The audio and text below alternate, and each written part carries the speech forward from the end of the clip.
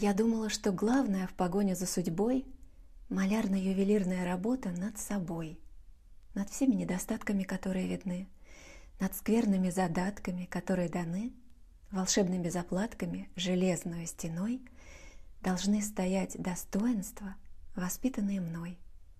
Когда-то я так думала, по молодости лет.